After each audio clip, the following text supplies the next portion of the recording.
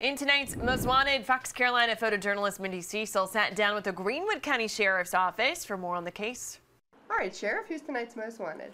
Tonight's most wanted is DeQuanta Nicholson. He's a 27-year-old black male.